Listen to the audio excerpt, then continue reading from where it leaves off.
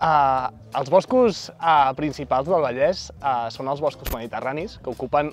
la gran part de la plana vallesana i també dels, dels massissos, massissos que formen part del, de la comarca del Vallès. I els boscos principals que trobaríem serien els alzinars i uh, les pinedes de pi blanc. I moltes vegades el que trobem és boscos mixtos de les dues espècies.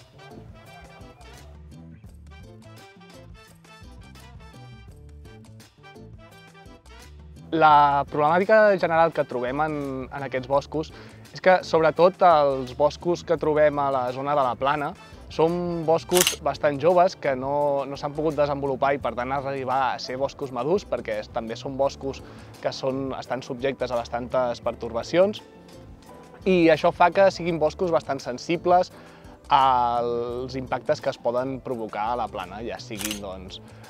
la freqüentació que, que hi ha, un risc d'incendi perquè estan propers a algunes zones on s'hi desenvolupen altres activitats i també per proximitat a nuclis urbans són espais on moltes vegades eh, hi arriben per colonització espècies exòtiques que poden aportar problemes en aquests ecosistemes forestals.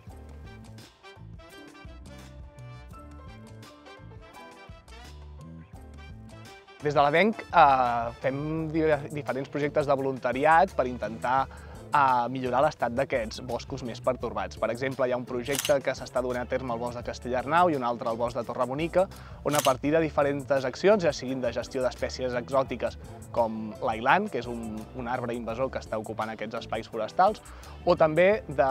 projectes de ciència ciutadana i de millora de l'estat de la fauna amb instal·lació de caixes niu o de ratpenats, doncs s'intenta, mica en mica, a millorar l'estat d'aquestes masses forestals.